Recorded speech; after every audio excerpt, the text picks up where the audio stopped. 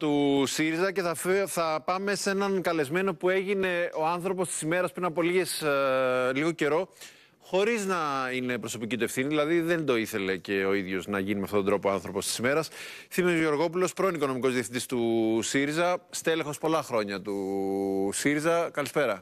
Καλησπέρα κύριε Κλώσσα. Εγώ σας γνώρισα ε, πριν από πολλά- πάρα πολλά χρόνια μέσα σε διαδικασίες στο ρεπορτάζ και μετά σας είδα ως διοικητή νοσοκομείου να δίνετε τον α, αγώνα για καλύτερη υγεία. Ακριβώς σε πολύ δύσκολες συνθήκες που όλοι πλέον μπορούμε να δούμε σήμερα τι ακριβώς έχει επισυμβεί ε, και μετά μάλιστα από μια πανδημία αναφορικά με την υγεία γιατί εν τελευταία αναλύση τα μεγάλα προβλήματα του τόπου τα έχουμε παραμερίσει στην άκρη γιατί μας έχουν κατακλείσει οι συπτικές δεξαμενές των Ηρακλειδών του στέματος του κυρίου Κασελάκη. Δυστυχώς. Δυστυχώς βέβαια αυτή η, αυτό το κλίμα έχει πλέον πάει παντού.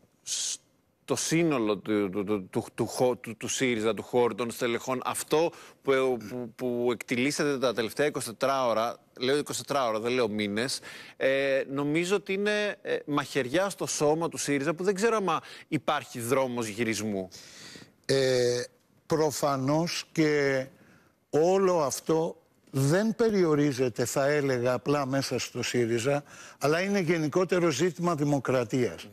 Ε, κοιτάξτε είναι γνωστό τη σπάση ότι αυτή τη στιγμή ο κύριος Μητσοτάκης πέφτει με το κεφάλι κατά το κοινό λεγόμενο. Και την ίδια στιγμή δεν, ε, ενώ έχει διαμορφωθεί μια κοινωνική αντιπολίτευση η οποία μάλιστα θέτει το αίτημα ε, βρείτε τα αυτό είναι που ακούγεται από παντού εμείς αυτή τη στιγμή ασχολούμαστε με τα του οίκου μας ε, να πω τη βαριά κουβέντα με το μικρομάγαζό του ο καθένας αφήνοντας τον κύριο Μητσοτάκη και πρόσφατα από τη ΔΕΦ να μας λέει ότι μα δεν υπάρχει αντιπολίτευση Παραλάβατε το ταμείο του ΣΥΡΙΖΑ από ένα ιστορικό στέλεχος του ΣΥΡΙΖΑ, από έναν άνθρωπο που όσοι τον γνώρισαν, ε, τους τίμησε με την, ε, με, με- με την επαφή. Ήξεραν όλοι ε, όσοι ασχολιόντουσαν με το ρεπορτάζ του ΣΥΡΙΖΑ ότι ο Μίμης Θοδαριώτης δεν άφηνε ευρώ να περάσει χωρίς να ελεγχθεί.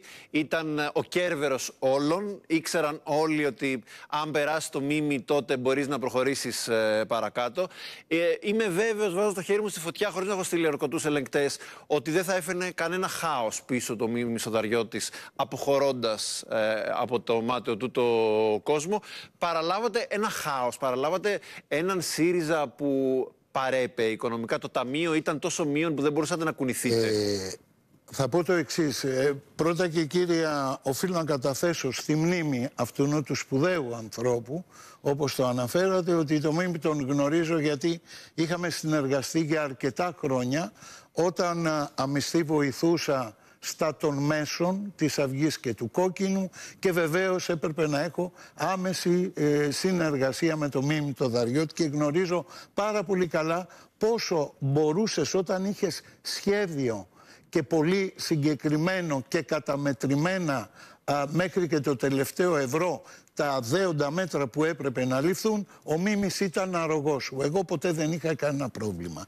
Έτσι λοιπόν το 2020 ε, βρέθηκα να είμαι ο διάδοχος του Μίμη μέσα στο κόμμα.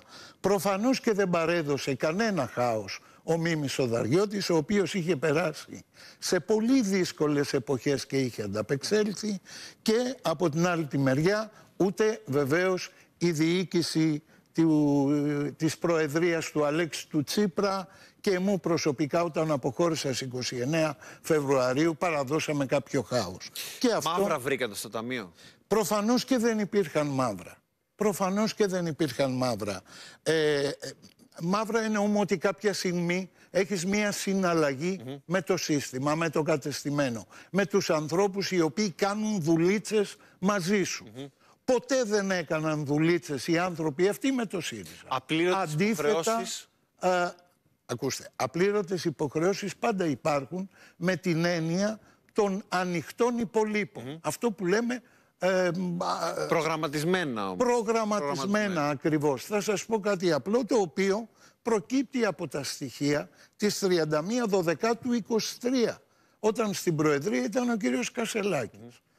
Εκτός από το γεγονός ότι βεβαίως που είναι γνωστό σε όλους ότι δεν υπάρχει καμία τραπεζική οφειλή, αυτό το οποίο α, παραδόθηκε 31 Δωδεκάτου σε ό,τι αφορά τους ε, προμηθευτές ήταν ένα υπόλοιπο ενός εκατομμυρίου 886.000 ευρώ. Ανοιχτό Όταν πέρυσι τέτοια εποχή ήταν περί τις 450.000. Ήτι προσαυξήθηκε το υπόλοιπό μας κατά ένα 400. Πολύ ωραία. Την ίδια στιγμή όμως το, τα ταμιακά διαθέσιμα του κόμματος στην 31 Δωδεκάτου ήταν 1.200.000. Όταν την προηγούμενη χρονιά ήταν 9.000. Άρα πώς φτάσατε στο ταμείο να μην μπορείτε να πληρώσετε ε, μισθούς στο κόκκινο υποχρεώσεις, ε, ε, να, να, να παίρνουν ε, χρέη ισχύρα τρίτου ε, άλλοι που έχετε χρέη Υπήρξε κακοδιαχείριση τον τελευταίο χρόνο τέτοια που φούσκωσε το, την κατάσταση; Ε, αυτό είναι και μια δική μου απορία και θα το εξηγήσω. Ο κύριος Κασελάκης έρχεται και λέει Κοιτάξτε, έχει απομειωθεί η κρατική χρηματοδότηση και εκεί που ετησίως για το κόμμα του ΣΥΡΙΖΑ ήταν στα 8 εκατομμύρια, έφνης βρίσκεται στα 4,5. Mm Ήτι έχει απομειωθεί περίπου κατά το ίμιση. Πώς είναι δυνατόν εγώ να μπορώ να πληρώσω και την Αυγή και το Κόκκινο και το κόμμα κλπ. κλπ. Με μια χρηματοδότηση που απομειώθηκε τόσο. Εγώ λέω το εξής απλό και θα ήθελα ο κάθε ένας από τους τηλεθεατές μας να το αναρωτηθεί. Επειδή ξεκινήσαμε μιλώντας για τον uh, Μακαρίτη, τον Μίμη, τον Δαριώτη. Ξέρετε το κόμμα όταν το παρέλαβε ο uh, κύριος Τσίπρας ε, η κρατική χρηματοδότηση την οποία ανελάμβαν με το ποσοστό δεν ήταν καν 3 εκατομμύρια, ήταν 2.700-2.800.